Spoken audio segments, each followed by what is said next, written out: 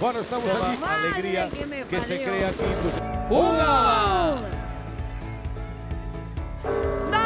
¡Dos! ¡Dos! ¡Tres! ¡Tres! Ilha de Galicia, todos os antepasados, eh, eleva comigo, eh, non hai maneira. Eh. Paixón lle poñemos, eh? Seis! Seis! Seis. Seríamos por xuño.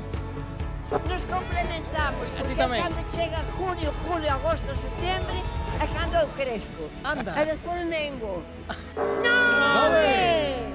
Eh, aproveitaría para decirles a que nos escuiten que a película que arde está nos carteles, está funcionando. E hai que ir vela. ¡Feliz, ¡Feliz, ¡Feliz, 2020. 2020! ¡Benedicta, querida!